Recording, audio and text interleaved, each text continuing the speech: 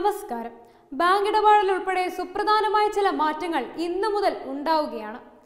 മൂന്ന് ബാങ്കുകളുടെ ചെക്കുകൾ അസാധുവാകുന്നതും credit debit കാർഡുകളിൽ നിന്ന് ഓട്ടോ ഡെബിറ്റ് ഇല്ലാതാകുന്നതും ഉൾപ്പെടെയുള്ള കാര്യങ്ങളാണ് ഇന്നു മുതൽ മാറ്റം സംഭവിക്കുന്നത്. ഇവ ശ്രദ്ധിച്ച് തന്നെ കൈകാര്യം ചെയ്യുക. ഇവ ശ്രദ്ധിച്ച് അതിനനുസരിച്ച് മാറിയില്ലെങ്കിൽ പണി കിട്ടുമെന്ന് നൂറ് ശതമാനം ഉറപ്പാണ്. പ്രധാന മാറ്റങ്ങൾ എന്തൊക്കെയാണെന്ന് നമുക്ക് നോക്കാം. ഓട്ടോ ഡെബിറ്റ് ഇനിയില്ല. സ്ഥിരമായ കാലയളവിൽ ബില്ലടയ്ക്കുന്നതിനും മറ്റും ക്രെഡിറ്റ് ഡെബിറ്റ് കാർഡുകളിൽ നിന്ന് ഓട്ടോമാറ്റിക്കായി പണം പിൻവലിക്കപ്പെടുന്ന ഓട്ടോ ഡെബിറ്റ് രീതി ഇന്നു മുതൽ ഇല്ലാതാവുകയാണ്. ബില്ലടയ്ക്കുന്നതുൾപ്പെടെയുള്ള ഓരോ മാസത്തെയും ഇടപാടിന് ഉടമയുടെ സമ്മതമുണ്ടെങ്കിലേ പറ്റൂ. തട്ടിപ്പ് തടയുന്നതിനാണ് പുതിയ രീതി നടപ്പിലാക്കുന്നത്. ഇപ്പറയാൻ പോകുന്ന ബാങ്കുകളുടെ ചെക്കുകൾ അസാധു.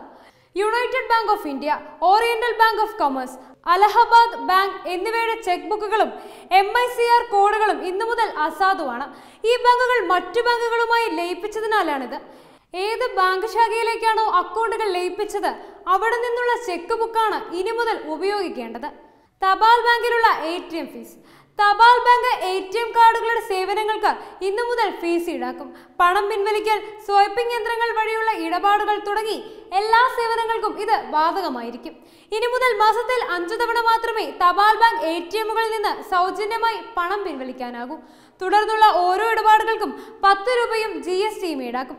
മറ്റു ബാങ്കുകളുടെ എ ടി എമ്മുകളിൽ നിന്ന് മെട്രോ നഗരങ്ങളിൽ മാസത്തിൽ മൂന്ന് തവണയും മറ്റു നഗരങ്ങളിൽ അഞ്ചു തവണയും സൗജന്യമായി പണം പിൻവലിക്കാം. തുടർന്നുള്ള ഇടപാടുകൾക്ക് ഇരുപത് രൂപയും ജി എസ് ടിയും ഈടാക്കും. ധനപരമല്ലാത്ത ഇടപാടുകൾക്കാണെങ്കിൽ എട്ട് രൂപയും ജി എസ് ടിയും നൽകേണ്ടി വരും. കാർഡുകളുടെ വാർഷിക മെയിന്റനൻസ് ചാർജ് നൂറ്റി ഇരുപത്തഞ്ച് രൂപയും ജി എസ് ടിയും ഇന്നു മുതൽ ഈടാക്കും. അക്കൗണ്ടിൽ പണമില്ലാത്തത് മൂലം പണം ലഭിക്കാതിരിക്കുന്നത് അടക്കമുള്ളവയ്ക്ക് പിഴയായി ഇരുപത് രൂപയാണ് ഈടാക്കുന്നത്. ഭക്ഷ്യസുരക്ഷാ നമ്പർ ഇന്നു മുതൽ. ഭക്ഷ്യവ്യാപാരികൾ നൽകുന്ന ബില്ലുകളിൽ ഭക്ഷ്യസുരക്ഷാ ഗുണനിലവാര അതോറിറ്റി നൽകുന്ന ഭക്ഷ്യസുരക്ഷാ നമ്പർ ഇന്നു മുതൽ നിർബന്ധമാണ്.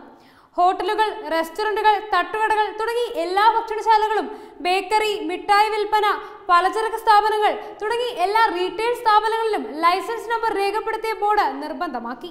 ഇത് ഉപഭോക്താക്കൾ കാണുന്ന രീതിയിൽ സ്ഥാപിക്കുകയും വേണം. Web desk Tatwamayi news.